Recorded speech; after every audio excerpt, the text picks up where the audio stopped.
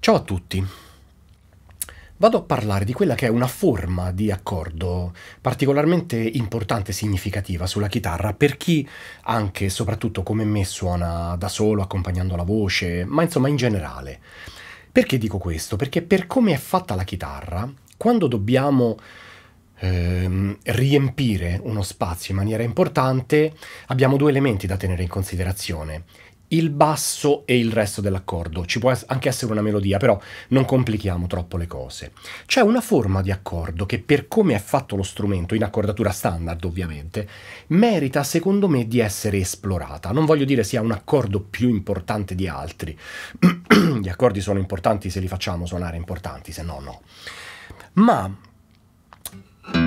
avendo noi il basso che suoniamo di solito col pollice e eh, prendo un, un basso qui per esempio. E il resto dell'accordo diciamo in questo modo sfruttiamo tutta la profondità della chitarra no? ovviamente gli accordi non sono solo questi eh, per carità non è che deve sembrare. Però mi interessa approfondire un pochino la, il concetto su questa forma di accordo. Allora gli accordi possono essere a tre voci sono i maggiori, i minori la triade diminuita, quella eccedente. Poi si fanno un po' più interessanti, sopraggiunge come prima nota aggiuntiva la settima. la settima, io qui faccio un discorso dando per scontato che poi chi ascolta abbia già nozioni di armonia, no? Insomma, si possono acquisire in molti modi. Gli accordi di settima generalmente sono eh, formati, generalmente lo posso levare, sono formati da quattro note, prima, terza, quinta e settima. Allora, andando un po' a ritroso negli, ne, nel modificare gli accordi, a ritroso perché? No, a ritroso, forse in avanti, no, non so perché l'ho detto. Um, allora, il primo accordo di settima che mi viene in mente è quello, eh, il maggiore settima, major 7, come troviamo scritto sugli spartiti. Noi in Italia lo chiamiamo anche settima più. Um, mi trovo anche io a chiamarlo così, anche se non è proprio corretta come definizione. Questo accordo suonato con tonica sulla sesta corda, può essere suonato con una forma molto bella in questo modo. Perché dico molto bella? È un po' pianistica. Basso, accordo. Le due cose separate, cioè il basso, in questo caso sto facendo un La, quindi è La, Do diesis, Mi e Sol diesis, il La maggiore settima. Ho il La qui, sulla sesta corda, poi ho la quinta corda che non viene suonata e altre tre corde dove ci sono le altre tre note, quindi è un accordo assolutamente essenziale. Finito, chiuso, bello impacchettato.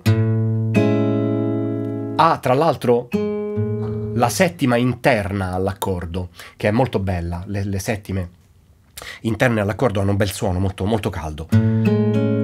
Adesso, perché parlo di questo accordo come di un accordo importante? Non è tanto questo accordo, ma è questa modalità di accordo, cioè se io sapendo che ho tonica, settima, terza e quinta, voglio trasformare questo accordo in un accordo di settima, semplicemente settima dominante, quindi con la settima bemolle, non dovrò fare altro che bemollizzare la settima e ho ottenuto lo stesso identico accordo che invece del Sol diesis ha il Sol perché sono in La, ma insomma, altrimenti vale per tutti gli accordi. Perché la differenza fra un accordo di major seventh e un accordo di settima dominante è soltanto la settima che si sposta di mezzo tono. Siccome la differenza fra un accordo di settima e un accordo di minore settima è solo la terza che si sposta di mezzo tono, da questo accordo, sapendo che questa è la terza, se io la bemollizzo, e vado a suonare questa forma che mi permette di prendere eh, comunque solo quelle quattro note, tonica, settima, terza e quinta. Prendo un barré con questo dito, poi aggiungo il secondo sopra ed ho un accordo minore settima.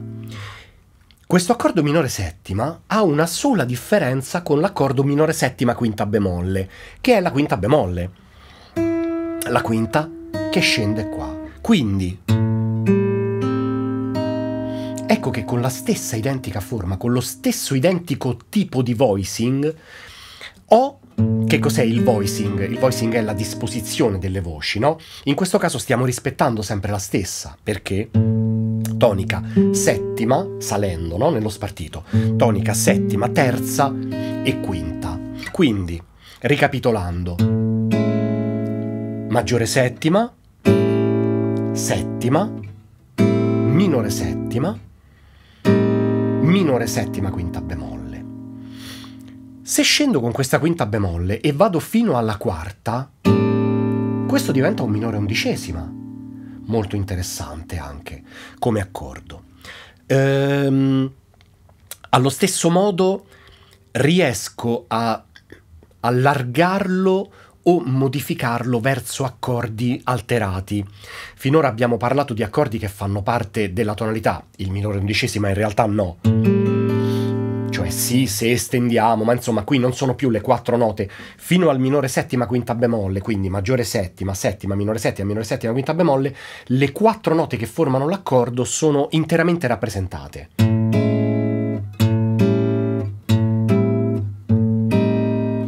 Per altri accordi si sceglie di fare delle cose un po' diverse, per esempio, se questo è una parte di minore, settima, tonica, settima e terza minore, se aggiungo la quarta diventa un minore undicesima, ma sono sempre nell'accordo, nella tipologia di accordo da cui ero partito. Per esempio, se al maggiore settima aggiungiamo la sesta qui, togliendo la quinta, sacrificando la quinta, verrà fuori un tredicesima, maggiore, tredicesima settima più, tredicesima maggiore settima perché ho tonica, settima maggiore, terza maggiore e tredicesima, quella che viene chiamata in questo caso tredicesima. Se eh, la settima la bemollizzo e lo faccio diventare un settima, avrò lo stesso accordo ma tredicesima. Sugli accordi di settima si possono trovare delle alterazioni. Per esempio, se l'accordo di settima non ha la quinta giusta, ma la vogliamo suonare bemolle o diesis, bemolle o più, in questo caso il mio La settima diventa un La settima quinta più. E se quella quinta la faccio diventare bemolle, diventa un La settima quinta bemolle. Ed è sempre la forma da cui sono partito, eh, attenzione. Il minore settima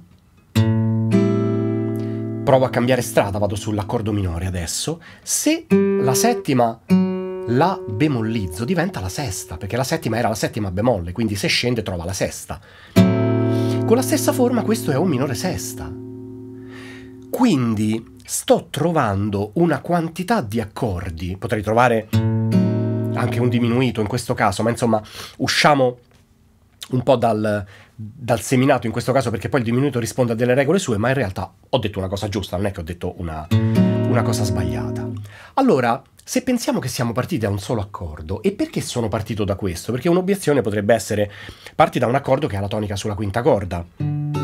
Sicuramente questo è un Re maggiore settima, questo è un Re settima, questo è un Re minore settima, sto sempre suonando una corda, poi ne lascio una e suono le tre più lontane con le tre note dell'accordo.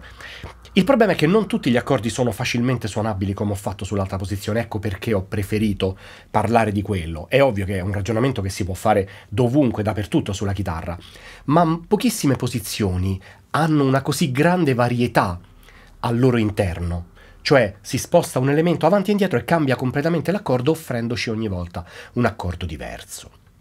Ecco perché dico l'accordo più importante che abbiamo sulla chitarra. Non so se è l'accordo più importante, ehm, sicuramente ci offre eh, tantissime varianti.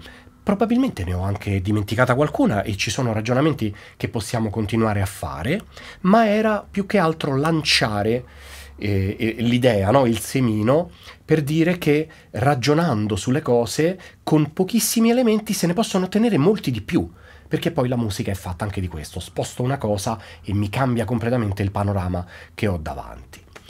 Spero di essere stato utile, alla prossima.